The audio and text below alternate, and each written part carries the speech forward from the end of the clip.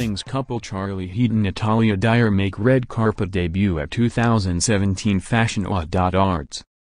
Stranger Things stars Charlie Heaton and Natalia Dyer looked adorable as they posed for the first time on the red carpet at the 2017 British Fashion Awards. See pics here.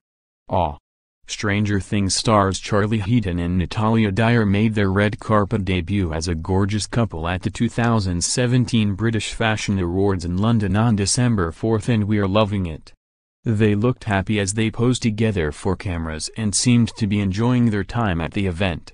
Handsome Charlie chose wore an orange satin varsity jacket over a black button-down shirt and black pants while Natalia wore a burgundy semi-sheer ankle-length dress embroidered with black stars.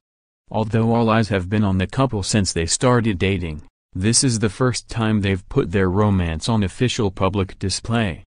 See more stars on the red carpet at the 2017 British Fashion Awards here. Charlie's recently been in less positive headlines after he was allegedly caught with cocaine at the airport on October 21.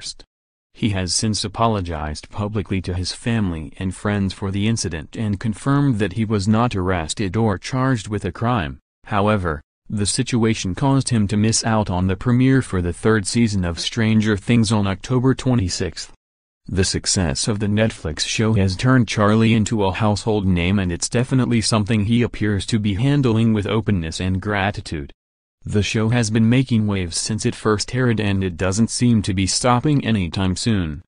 In addition to Charlie and Natalia, many stars looked amazing at this year's British Fashion Awards, including Selena Gomez, Rita Ora, Hailey Baldwin, Stormzy, Sam Smith, and more.